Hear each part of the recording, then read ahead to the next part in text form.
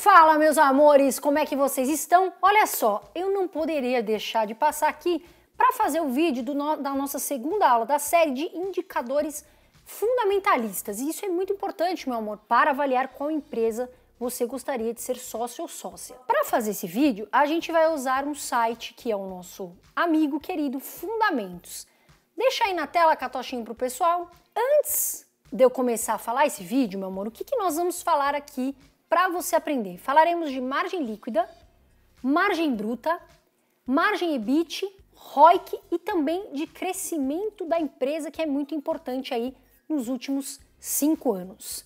Bom, e para começar, pessoal, a gente colocou aqui a Itaúsa, né? Itaúsa 4, tem, tem 3 também, mas a gente escolheu a 4, a gente vai vir aqui em margem bruta, tá, pessoal? Quando vocês colocam aqui no ponto de interrogação, já vem falando mais ou menos o conceito. O que é a margem bruta? Resumindo, margem bruta é o quanto a receita que sobra no bolso da empresa após ela comprar um produto ou fabricar e não leva em conta as despesas administrativas e as despesas de vendas, tá bom, pessoal? E aqui a gente vê Itaúsa, ela tem uma margem bruta de 27,4%. Meu amor, e é muito importante você avaliar a margem bruta, você que é empreendedor ou você que pretende virar sócio de uma empresa. Por que os analistas usam a margem bruta? Porque ela mostra, a, ela é um indicativo de quanto aquela empresa é lucrativo, desempenho da lucratividade, das vendas, diferente da margem líquida, que mostra a lucratividade do negócio, tá? Então, muitos analistas utilizam a margem bruta para avaliar o desempenho aí da empresa. Meu amor, e é muito importante você avaliar também, que a gente vê aqui no site, a margem EBIT. E que é importante a gente saber aqui? A margem EBIT ela é tirada do EBIT da empresa. E o que, que o EBIT mostra? O quão eficiente aquela empresa está. E melhor é a capacidade dessa empresa de gerar o quê? Caixa, que é super importante. E quando a gente vê que a margem EBIT está muito baixa, pessoal, é importante para você avaliar, por exemplo, empresas do mesmo setor. Você tem que olhar isso para ver qual dessas empresas está sendo mais eficiente? Qual dessas empresas está sendo mais lucrativa nos negócios? Quando a gente compara a margem EBIT das empresas, a gente pode ver por setor o que? Se realmente naquele momento, né, esse setor está forçando a margem EBIT aí para baixo, e aí todas as empresas podem apresentar esse indicador, né, relativamente baixo, ou se a margem EBIT daquela empresa em relação às outras está muito baixa, e aí sim isso é um problema exclusivo daquela empresa, daquele setor. Por isso que também a gente fala que tem que comparar empresas aí do mesmo setor. Caso você fique com alguma dúvida, meu amor, a margem EBIT é a margem operacional que a gente ouve muitas vezes por aí da empresa. E, meu amor, se você está entendendo o que a gente está explicando, a gente trouxe com muito carinho aqui de uma forma que você entenda na prática, dá um like no vídeo porque vocês ajudam a gente a engajar o vídeo. Eu sei que você é uma pessoa muito bacana e lembra, ajuda o YouTube a mostrar também os nossos vídeos, tá bom, meu amor? E para nós é muito importante. Pessoal, a gente vai falar agora da margem líquida e é muito importante para você investidor, para você que quer começar a investir em ações, você avaliar a margem líquida, porque ela mostra o quanto lucrativa aquela empresa está sendo. E ela é sim um dos principais indicadores para você levar em conta aí na hora de analisar as ações, as empresas que você quer ser sócio ou sócia. E por que, que a margem líquida que a gente está mostrando aqui é importante, pessoal? O que, que ela mostra? Mostra o quanto de lucro líquido é gerado a partir de cada um real que entra no caixa da empresa. Por exemplo, aqui, o que a gente vê Itaúsa? Olha a margem líquida da Itaúsa, 178,7 segundo fundamentos. Ou seja, a cada um real que entra aí no caixa da Itaúsa, a margem líquida dela é de 178,7%. Então, pessoal, a margem líquida ela é muito importante, porque ela mostra de fato o quanto sobrou lá no bolso da empresa de lucro líquido depois que essa empresa pagou despesas, tributos que ela tem que pagar, é, impostos. Então, é fundamental você olhar sim a margem líquida. Quer dizer que às vezes a empresa tem uma margem líquida baixa que ela é ruim? Não, tem gente que fala, ah, eu não gosto de empresas do varejo porque a margem líquida é baixa. Só que às vezes aquela empresa do varejo, ela tem a margem líquida menor, porém ela vende muito.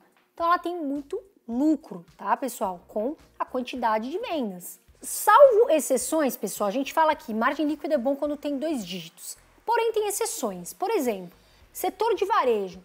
Muitas vezes você vai ver a margem líquida e vai falar, opa, baixa, pequena. Por quê? Magazine Luiza, por exemplo, que é uma empresa que eu gosto, mas não é recomendação. Ela gasta lá R$ reais um produto, dando um exemplo, e vende por 7. Margem líquida baixa. só que ela vende muito, então o lucro dela é alto, porque ela não vende é uma quantidade pequena de produtos, ela tem uma margem pequena, mas vende muitos produtos, entendeu? Então tem que ficar de olho, por isso que a gente fala dos setores.